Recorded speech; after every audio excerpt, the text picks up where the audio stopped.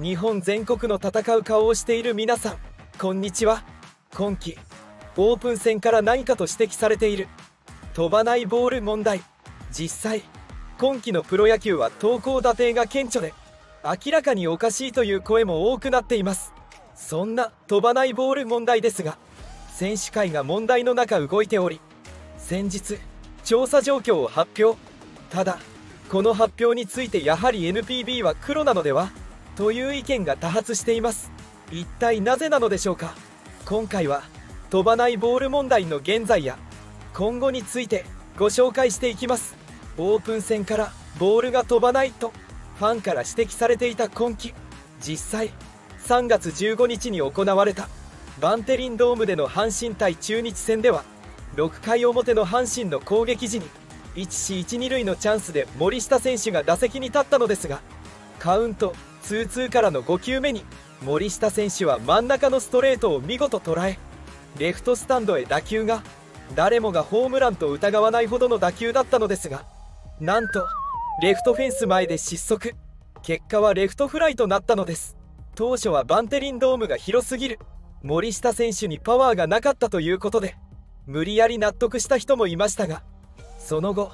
9回裏に次は中日ドラゴンズが1死1塁とサヨナラのチャンスを作り打席には今季加入した中田選手阪神の桐敷選手の初球の真ん中ストレートを捉えこちらも打球がレフトに向かって伸びていきます。中田選手も完璧に捉えた感覚があったのでしょう。確信歩きしていたのですが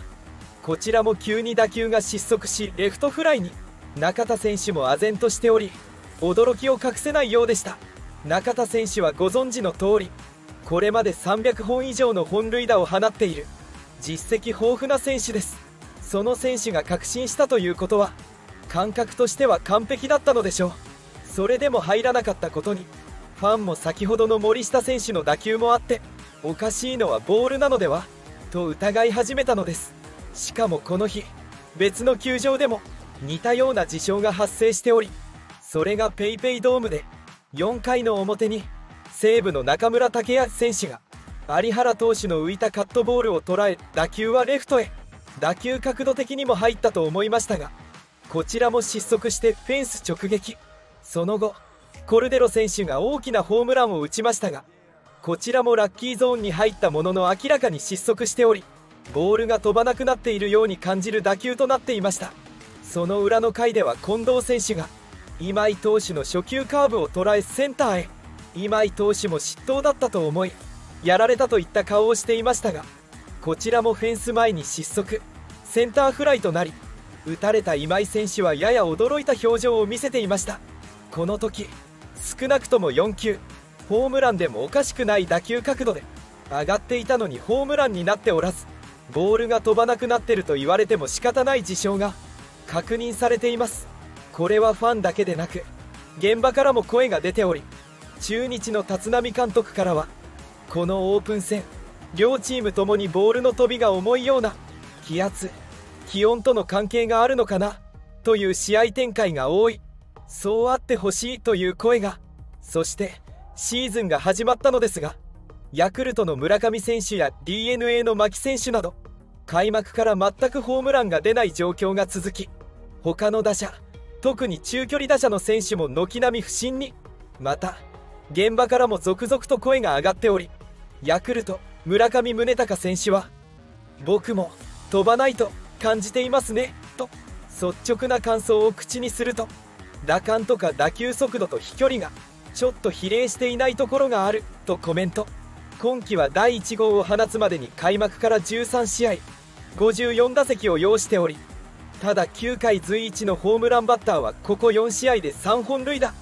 その飛ばない中でも打球に角度がついてしっかり当たればスタンドに入る。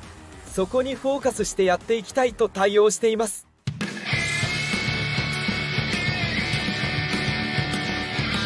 バトルフィース。選手が違和感を感じるのは打席の中だけではないようで d n a 牧秀悟選手は味方の打球にしても守っていても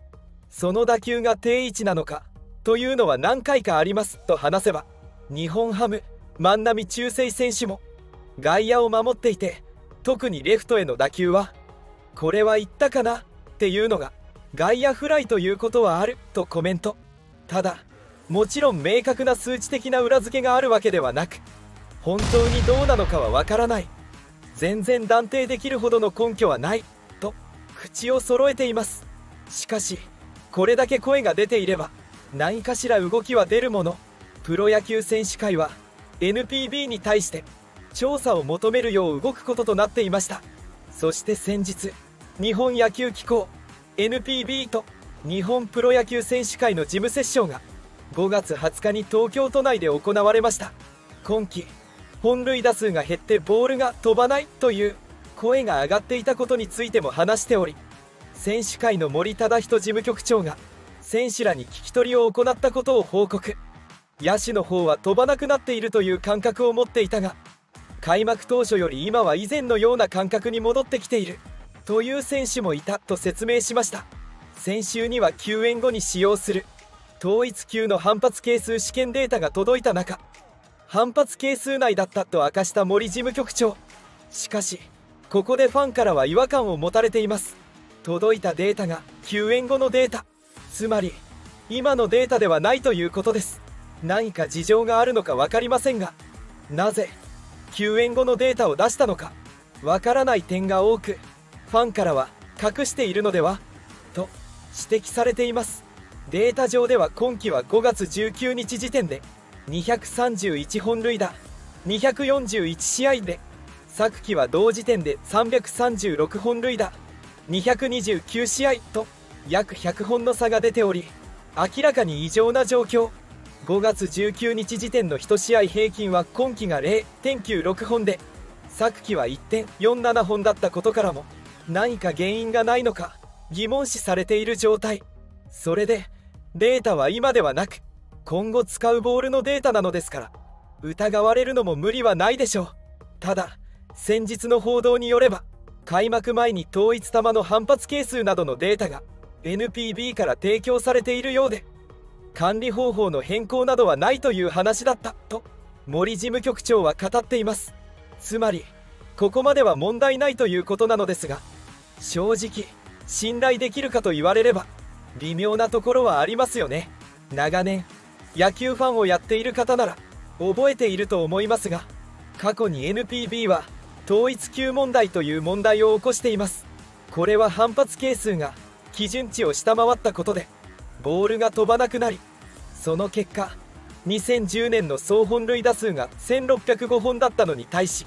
2011年は939本2012年は881本へと激減。